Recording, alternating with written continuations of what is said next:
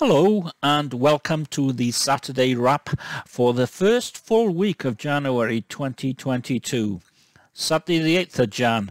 It's the morning, it's raining, and it's a look back on all the things that I can remember that have happened this week.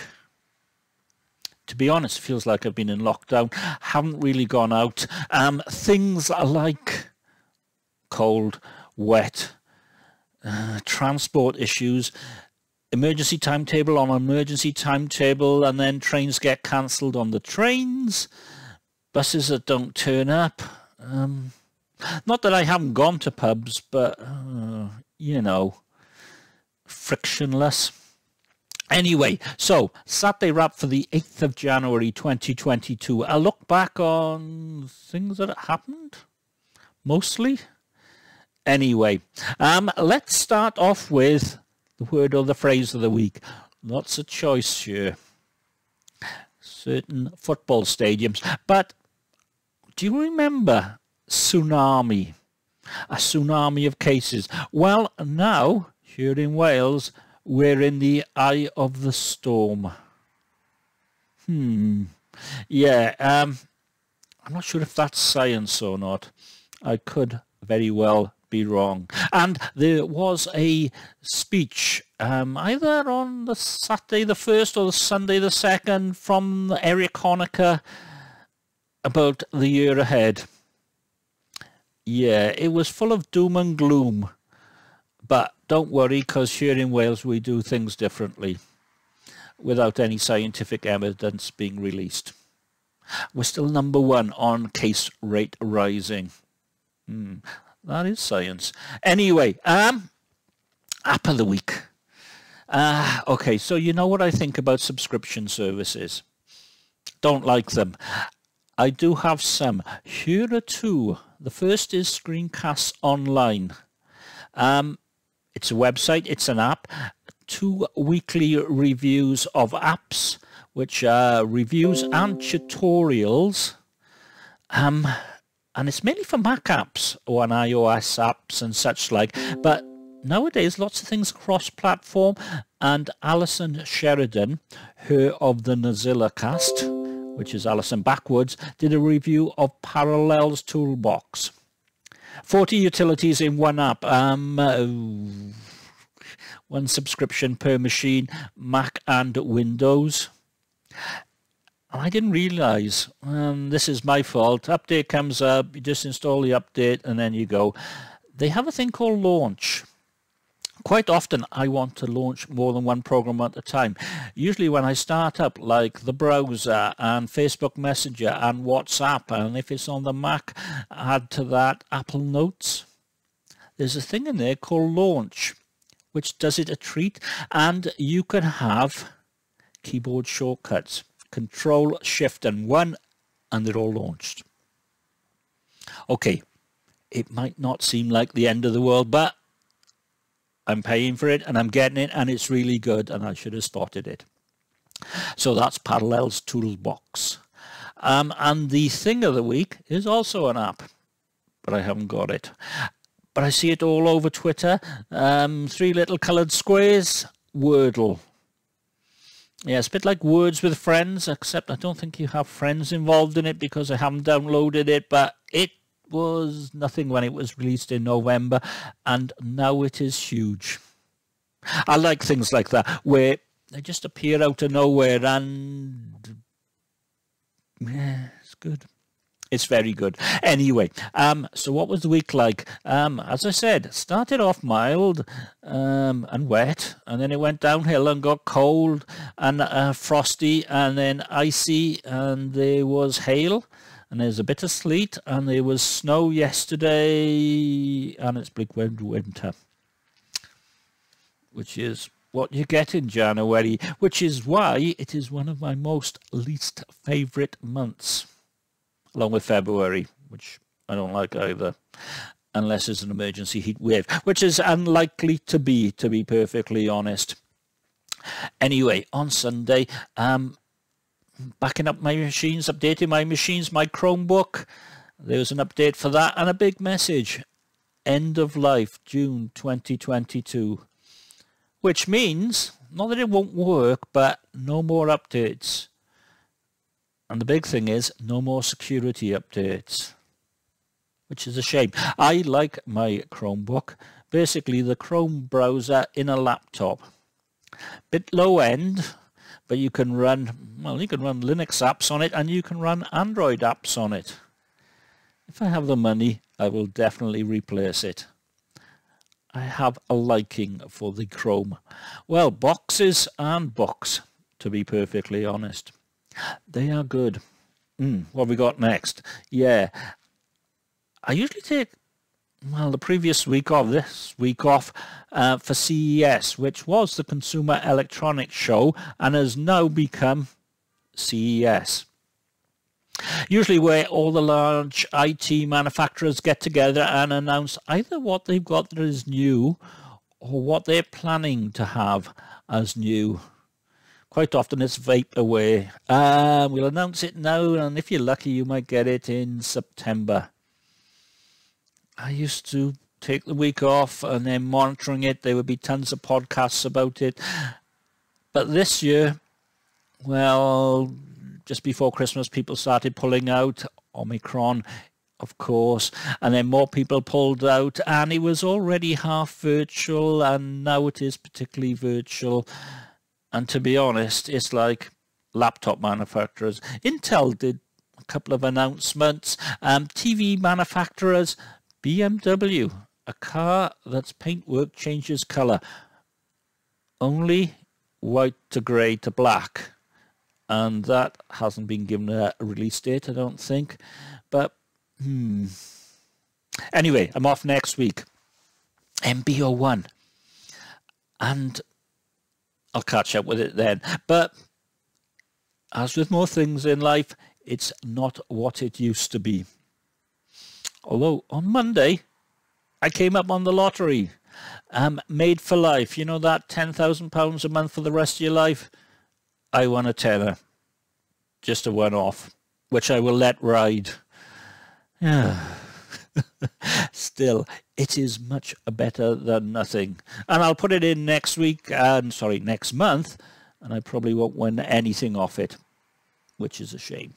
But, you know, every so often you do get happy. Ooh. Beer of the week. Abstract Lens, North Brewing Co.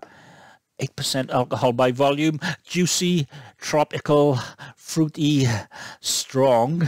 Little bit of pepperiness in there. Nice mouthfeel, B++. Plus got it from Tesco's before Christmas.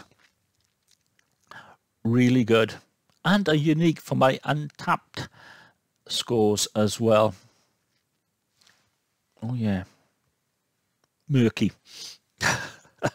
um, Monday night, boiler didn't come on. I thought it was just because the thermostat was already up to temperature because my bedroom was quite warm. Tuesday night also. So, batteries out of the thermostat. Put them back in. No change. Turn it on manually via the app. No change. Long story short, TLDR. Turn the boiler off, turn it back on it came back on as per schedule. It's worked fine since then. Nine times out of ten, power it down, power it back up. Oh, as we say in the trade, power cycle it. It's never gone wrong before, which is a bit of a worry. Still, it's under a maintenance contract, and I just think possibly the software just had a memory leak, maybe. And powering it off and powering it back on cleared that. I don't know. But this is the time of the year where you don't want your boiler doing that sort of thing. No heating, no hot water. Exactly. Right. Um, email from Tesco's Insurance. Got my car insurance with them. This year, they have to tell you what your previous renewal was. It was a 50 quid. Hmm. Okay. So I do much fewer miles per year due to the pandemic. So um, I got another quote. Liverpool Victoria via Boundless, 8% off. Went all through the whole thing, went to get the quote, it couldn't do it. Luckily I was able to save it. 40 quid cheaper. I'm going to get back in touch with Tesco. Tell them the quote. Say, can you match it? If they can't, I will cancel. Yeah. Problem is, a lot of these nowadays, especially Tesco, auto renewal. That's how they catch you. Never, ever, ever take the quote that they send you. It's the sucker thing to do. That's how they make their money, uh, rather than provide the service, of course. Mm. Still hellishly expensive. I'm an old man, you know. I'm a civil servant. I'm a low risk. It's people hitting me is the problem, to be perfectly honest. Um, the beer thing of the week. Apparently, terms like bitter and mild are now seen as old-fashioned, especially in America. Um, so the term pub ale has been brought in for bitters.